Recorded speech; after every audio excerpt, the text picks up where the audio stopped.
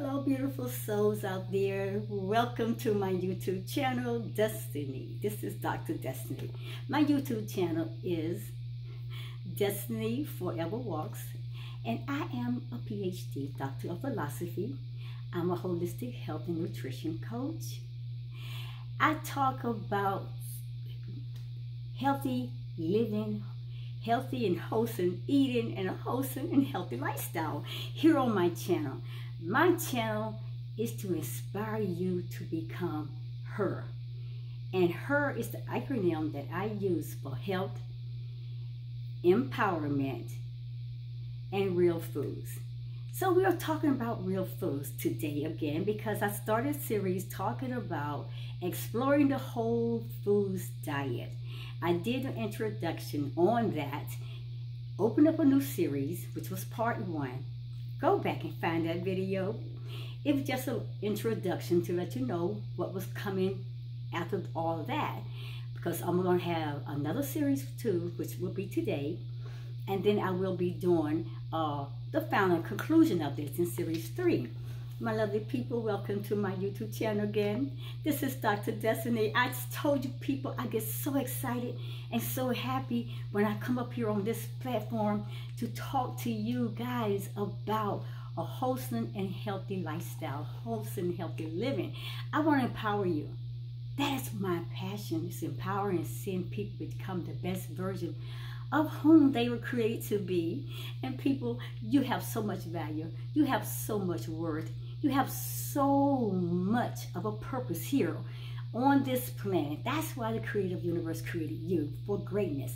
He created you as a whole being to be healthy, to be wholesome, healed, whole, and complete. Let's jump into part two because this part gonna we talked about in the last series about what is whole foods. And we talked about the different parts of whole foods. And I told you I'm not getting into the things that you should look for when you're out there doing your grocery shopping.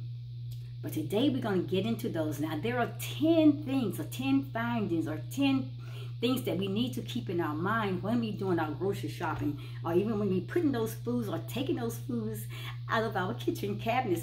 Be consciously aware of what you are picking up. Relabels. Relabels. Get to understand and know what these names are. You are allowed. You can pick up that phone and call these companies. Call these manufacturers and ask them, what is this? I don't understand that. I don't know what that name is. Tell me what is this in my food that I'm purchasing. And you have the right to do that. And they have to give you information on that, my people. So let's get started. It's 10 things that you need to be looking for when you're out there grocery shopping. Now I'm to break these into increments because I don't want it to be too long. Today I'm to go and give you five things that you need to look for. And then coming at the next series that I will be bringing to you, which will be series three, that will be the conclusion. And then I will give you the last five, which makes a total of 10. 10 findings. So go back and look at part one of this series, the introduction, and it will tell you what is whole foods. It will give you things that we are to be looking for in our foods, things that we should know that is healthy in those foods for us to have that body so our body can be nourished and that is what our bodies are meant to eat, or whole foods. So part two, and I have notes in front of me because you're going to see me looking maybe toward the notes. So part two, part two will be talking about things to look for when you're out there doing your grocery shopping or taking that trip to your kitchen cabinet. So here we go. Foods to look for when you're doing your grocery shopping. This is series two. Now, as I said before in the last video, I do encourage my clients to come, to be consciously aware, very aware of what they're choosing as foods. Be conscious aware of what you're eating and what are you putting into your bodies. I find myself uh, many times because I say I'm a holistic health coach too, so I do a lot of teaching. I do a lot of helping my clients to choose a healthy and wholesome diet. But I find myself educating clients to revert back to the roots of their ancestors. Go back to great great grandmother. And you know, I'm the stories, them stories that's been passed down. I say, don't eat anything that your great grandmother wouldn't recognize as food. So, let's explore, my lovely people, my beautiful souls. Let's explore the whole foods diet together and how to choose a healthy and how to choose these healthy and wholesome foods. If you go to Genesis in the Bible to chapter 1, verse 29, I talk about that all the time. The creator of this universe, he will give you a wholesome and healthy diet of the things that we should be eating, the foods that we should be gravitating toward to getting those things into our bodies, into our diets. So let's learn together today how to choose those healthy and wholesome foods. And my people, I'm going to give you 10 things that you really need to look for. During this whole series, I will be giving you 10. Only five today I will give you. And then the other five, the last five, I will give you in the conclusion, which will be series three. So let's look at these things that you really need to pay focus and close attention to. The next time that you head out to the supermarket, going out to doing that grocery shopping, or getting up and saying, I'm going into the kitchen to make me a meal, you need to know. Don't bring that stuff home and put in your kitchen cabinet because it shouldn't be in there. So you shouldn't have to worry about what's in your cabinet when you clean out all that old junk and throw it out, all those unhealthy, all those foods that are not wholesome. Throw them out your cabinet, get rid of it. Declutter all of the unhealthy things. So let's look at five of these things today that you should be definitely looking for when you're doing your grocery shopping. Number one, look at patterns in your diet. Rather than focusing on this food is good, this food is bad, no, my people, you're going to look at patterns in your diet. You focus on how people could make lifelong changes, taking into account each individual's likes and their dislikes, as well as the ethnic and the cultural practices and their life circumstances. That was number one you look at patterns in your diet rather than focus on that the food is good or the food is bad. Number two, my lovely people, let's get this together too. What you eat can affect your mental health. Now, that was a question that I put on my community tab and I did a poll. So that's the answer. What you eat can affect your mental health. Now ask that question. What you eat can affect your mental health. Is that true or is that false? It's yes to that or no? So I just gave you an answer. So what you eat, it really does affect your mental health. Now the idea that eating certain foods could promote brain health, much the way it can promote your heart health.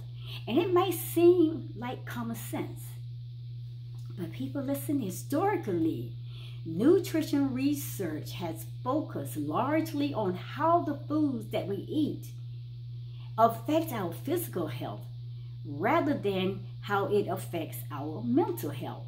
Number two, what can you eat? What you eat can affect your mental health. Let's go number three. Number three, coffee has health benefits, and that may surprise many of you, but there are health benefits in coffee, depending on how we use it, uh, how we're drinking it, or what we're putting in the coffee, people. But coffee is a beloved of so many people, but it does have health benefits and have often been called into question. Now, the latest assessments this year of the health effects of coffee and that caffeine which is in coffee However, my people, it has been said to be very reassuring. Now, their consumption has been linked to a reduced risk of all kinds of elements, including like Parkinson's disease, heart disease, type 2 diabetes, gallstones people, depression, suicide, cirrhosis, liver cancer, melanoma, and prostate cancer. So people, number three will be coffee. It has health benefits.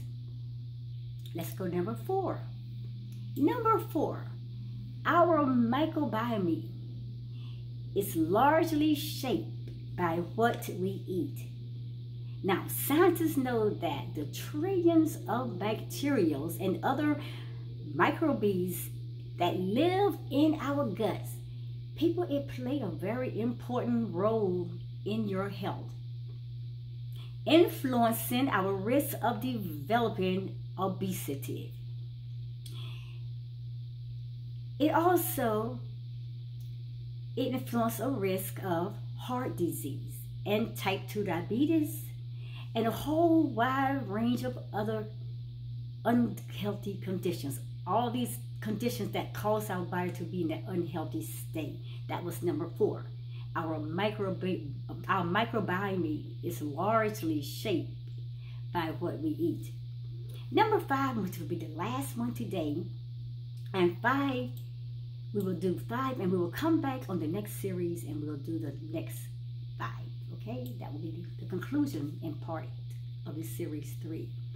So number five will be highly processed foods may actually be addicted. And I say it does. Because a lot of times what they put on these foods, it causes our bodies to crave for more. So they, so I mean, they are wise. They are putting stuff on that food that's going to give you that little thing touching your body. It's going to want that again. But highly processed foods may actually be addicted, like potato chips and ice cream, all those good foods that we like. That pizza, they are more unhealthy food contains all things that's going to make you crave for more and more. And these are things that are really not healthy for you. These potato chips, this ice cream, this pizza, and more unhealthy foods. What they do is they continue to dominate the standard American diet. Despite being linked to obesity, my people, and linked to heart disease and, and to type 2 diabetes and other health problems. They are cheap, but prices are really going up now. But they are really cheap and convenient, and they are engineered. They are purposely fixed that way. These foods are processed that way to taste good so you can want more. That's how they've been manufactured, processed, okay? They are aggressively marketed by the food industry. So you could go out there and spend more money and more money and more money, and then you get so much of it that it breaks down your body, and your body becomes uh, unhealthy. And then also you're gonna start needing that doctor to come in and start giving you some pills. And that was they all work together, people believe me. They working together. They are working together. They're gonna get that money one way or the other, right? Yes, we need to know that. So that are the five things that I wanted to talk to you about today, and I will come back with the next five uh, at the next series, which will be the conclusion of this video.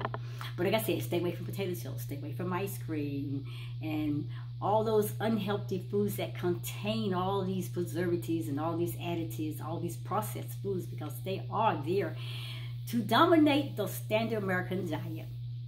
And it's going to cost you obesity, heart disease, and everything I did, that uh, type 2 diabetes and all those things, which these foods are not just tempting people but they are very addicted. They're very addictive. They will get you going, my people. They are aggressively, I said, marketed by the food industry to keep you hooked, to keep you addicted, to keep you buying more and more and more, okay? So that concludes that five. So look out for the next five, but I'm going to go into you and talk to you about foods that help you to be healthy. So let's talk about that, and I want you to run across this right quick.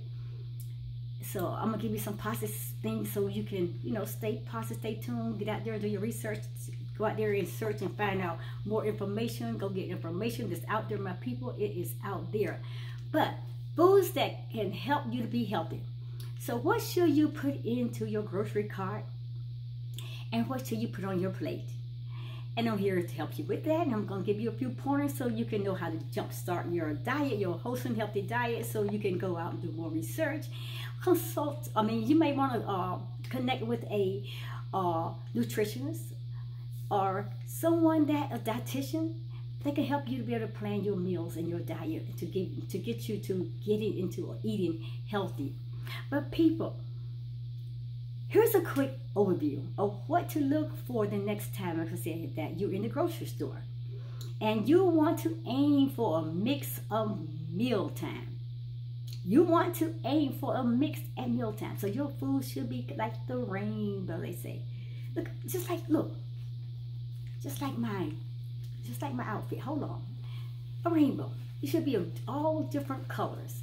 You see what I'm saying? All different colors of the rainbow. That's how your foods should look like. So let's talk about what foods should we be looking for to put in our carts or to put on our plates. First, we should be looking for those whole foods. Whole foods, people. Those are foods that has been shown that is supposed to be wholesome and healthy for your body. Some studies have shown that preservatives, food colorings, and other additives may cause or worsen hyperactivity and depression. So people, you make sure that you're getting those foods that not processed. That's not processed. That is processed as little as possible. Those are your whole foods. Think, start thinking fresh fruits, fresh vegetables. A lot of eating raw foods, getting those leafy, healthy greens and salads into your body. Number two, another food that will help you to be healthy is fiber, people. Fiber, fiber, fiber. Well, you get that from your plant-based foods, and they are full of fiber, which helps your body absorb glucose and food sugars. And more slowly, it, it, it helps you to avoid those sugar, those sugar rushes and crashes. And those fiber-rich foods may include like fruits and vegetables and nutrient-filled carbs like whole grains and beans, your legumes and your lentils and all those things. You got to get that fiber. That's healthy for you. The next thing is antioxidants. You should be looking for foods with antioxidants. And these are these inflammation fighters, that's what antioxidants are. The inflammation fighters are especially plentiful, plentiful in your berries, your leafy greens, vegetables, and the spice called turmeric, and foods with omega-3 fatty acids, including salmon and black chia seeds. Dark chocolate also contains antioxidants and sugar, but we don't want to get that crazy white refined sugar, so indulge if you're eating sugar in moderations, okay? Another thing that we should be able to look for in our foods to keep us healthy is folate. Now, folate is your B vitamin 9. The type of B vitamin that it helps us with the dopamine production without forcing it to surge the way sugars do. So, find it. You can find uh, that vitamin B9, which is your, your folate. You can find it in leafy green vegetables, lentils, cantaloupes, and just do research and there are so many more. I'm just dropping little nuggets here on you, okay? Another thing we should be looking for is vitamin D, which helps with production of serotonin. And we will usually get it from the exposure of the sunlight, direct sunlight that we get our vitamin D from. But also you can get vitamin D from mushrooms, especially mushrooms like reishi or cordyceps and maitake. And they're another good source. Mushrooms is a good source of vitamin D. Now, if you are though vitamin deficient, then your doctor may recommend you taking some type of supplement. But I recommend you get out into nature, get out into the direct sun. Let that sun, I mean, get out there. We need to get out there at least 15, 20 minutes a day getting that sun. If you don't do it every day, you need definitely be out there at least three times out of the week getting that sun. Another thing we need looking for in our foods, people, is magnesium. Magnesium, magnesium is so important and we need to get that in our bodies as well.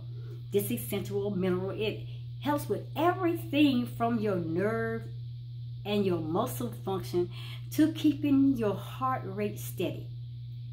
But it also is vital to the food mood connection. And a mineral deficiency, it's, deficiency, it can really hurt in the bacteria that is in your gut. And it can cause depression. You might want to think on that. It may cause depression and also cause anxiety-like symptoms. So you load up with natural sources such as dark chocolate and almonds and cashews and spinach and other dark leafy greens and green vegetables, even your bananas, your beans, which is are your legumes. That's where you're going to get your magnesium from. And another thing we can get that also will be the last one here. Things we can get to cause us to eat more healthy. Fermented foods. Fermented foods. Now, fermented foods are packed with probiotics, which are certain live bacteria that are good for your digestive tract. Now, let me give you some examples of lovely people. That would include stuff like sauerkraut, kimchi, miso, tempeh, and the fermented or drinking kombucha. Those where you can get some fermented foods from, and these can be things that's also healthy in your diet. These foods can also tend to be high though in sodium, so we got to be very cautious and careful of the intake that we are consuming. And we have to also consume these types of fermented foods in moderation, or we can just skip it all together. If you have high blood pressure, that is something you need to take in consideration. If you are known to have, or you've been told that your high blood pressure levels is way off key, then those fermented foods you definitely need to avoid putting those into your diet and eating those things. So I gave you those five things. And so we don't we just I just I'm just here talking to you today, trying to encourage you, trying to educate you, trying to give you more of what you really need. And I think that was really healthy and that's something good. So people, I think we have had enough and uh, maybe I'll, I'll be back. I'll be back I want to give you more because I know this is very interesting. And there's some others, and I want to add more to, to you uh, in the next series, the next video. I'm going to add more to the list, and so just, just, just, just stay tuned for the next series coming. And those are the things that we should be looking for in our diets and to stay healthy. So as I mentioned before, my people, stay tuned for the next video. It is coming. The final conclusion of this series I'm going to give you things how to go out shopping and looking for foods that you need that to stay healthy. And I'm to tell you how to pick up your different foods that are whole foods that's to keep your body in that healthy state. In the state of mind that whole man the whole man the mind body and the soul. It's a cycle of what your creator universe talks about in Genesis chapter 1 verse 29 keeping that body healthy my lovely people. And I thank you so much for watching this series too this series two and I will be back and we will continue to talk more on this. Go back and watch part one of this series, Exploring the Whole Foods Diet. The part series uh, one, it will help you to understand more and then you will understand where we picked up today. And then we'll come to the final conclusion on this on our next time we come and do a video on this series, which will be the conclusion. Lovely people, thank you for coming to my channel. I appreciate you and namaste to every beautiful soul out there. Thank you for your encouragement. Thank you for your motivation. Thank you for your comments. Thank you for your everything that you come and do on my channel. Even though when you come to give me knowledge, information, you pass along things, you're helping me. I am teachable. I am very teachable. I'm here to learn because we, we, we are to learn from each other. So stay tuned for the next videos coming. Namaste. I love you and I'll see you at the next video. Dr. Destiny says, go out there and do something that is so extremely healthy today for your body and your for your mind and your soul. And stay healthy and continue to eat that healthy wholesome diet and keep that body fit and keep that body right. Like like uh jay says like the jay uh jordan says keep that body tight and keep that body right. You better say that jay. Love you all beautiful souls. I'll talk to you in the next video. Bye. Love you.